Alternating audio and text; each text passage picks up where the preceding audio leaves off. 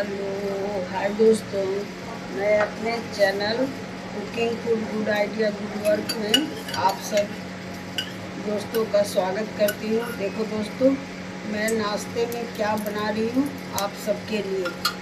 मैंने कढ़ाई में सरसों तेल डाल दिया और अब मैं इसमें इस बैटर को डाल देती हूँ। उसके बाद आपको बताती हूँ दोस्तों, वीडियो पे बने रहना। ये बैटर मैंने क्या क्या से बनाया है, वो सब मैं आपको डिटेल्स में बता रही हूँ। और ये मैंने कटी हुई प्याज और हरी मिर्च इसके ऊपर से ऐड किया। और थोड़ी सी बैटर इस प्याज के ऊपर डाल देंगे ताकि ये कवर हो जाए और पकने समय ये बाहर ना आए प्याज। ओके? और इसको मैं ढककर आराम से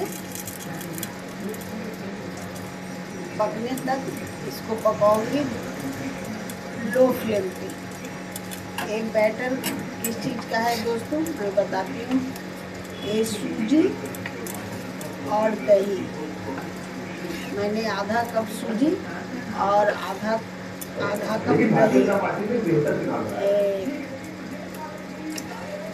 रात में ही भिगो कर मिक्स करके रख दिया था और साबुदाना भी आधा कप से थोड़ी कम साबुदाना मेरे पास थी तो मैं उसे उसे ही रात भर के लिए भिगो कर रख दिया और सुबह उसकी पानी निकाल लिया छान लिया और दही, सूजी, साबुदाना, सौंफ, नमक। दही तो मैंने रात को ही मिक्स किया था और एक कटी हुई प्याज और हरी मिर्च ऊपर से डालने के लिए। ये नाश्ता बहुत ही टेस्टी और सॉफ्ट बनती है दोस्तों। जिसे खा आप लंच भी कर सकते हो। देखो दोस्तों, मैंने बना कर रखा है। ये देखो। ये काफ़ी टेस्टी खाने में लगती है। आप इसे चटनी के साथ खाओ सॉस के साथ खाओ, या लंच में आप करो, या ब्रेकफास्ट करो। ये दोनों, ये आइटम आप ब्रेकफास्ट और लंच दोनों में कर सकते हो दोस्तों? ये देखो अब मैं इसे पलट देती हूँ। और इसके अंदर थोड़ी चाकू से इस तरह से होल कर दूँगी ताकि ये अच्छे से पके। ओके? और ये छोटी वाली ही मैंने साबुदाना लिया है। ठीक है? और अगर सूजी मोटी वाली भी हो तो चलेगी, क्योंकि इसे रात भर भी भिगोना है तो ये अच्छे से फूल जाती है। जैसी चाहिए मुझे, वो उस तरह से रेडी हो जाती है। तो उसके लिए कोई परेशानी नहीं है दोस्तों, कि मोटी हो या पतली हो। ओके और दही ज़रूर डालना दोस्तों।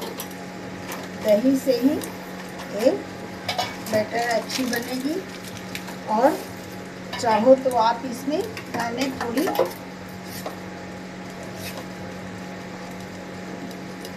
मीठा सोडा को भी थोड़ा ऐड किया है।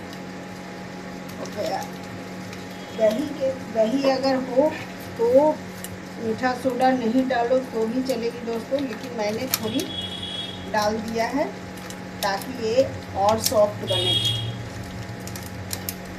आप चाहो तो प्याज और हरी मिर्च के साथ टमाटर भी इसमें ऐड कर सकते हो।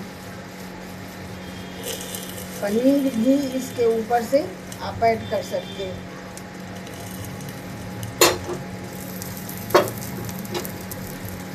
थोड़ी तेल ऊपर से मैं और ऐड कर रही हूँ ताकि ये अच्छी और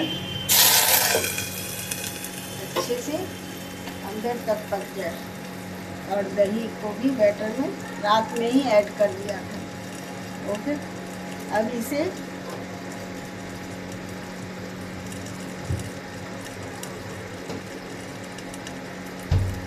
इसमें आप चाहो तो लहसुन भी डाल सकते हो। मैंने लहसुन नहीं डाला है। ये काफ़ी टेस्टी और हेल्दी होती है। सौंफ ज़रूर डालना दोस्तों। सौंफ डालने से सौंफ डालो या अजवाइन डालो। अगर आप दोनों टेस्ट लेना चाहते हो तो आप दोनों को भी ऐड कर सकते हो। और इस तरह से बैटर को तैयार करना है। बहुत मोटी नहीं और बहुत पतली भी नहीं ओके? अब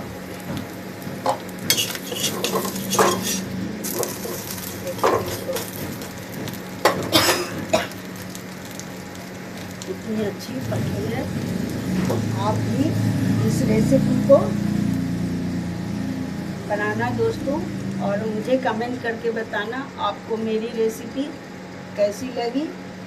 कमेंट करना, सब्सक्राइब करना, शेयर करना दोस्तों, जिसकी कोई चार्ज, कोई पैसा आपको खर्च नहीं करनी पड़ती, लेकिन हमें सपोर्ट ज़रूर मिल जाती है।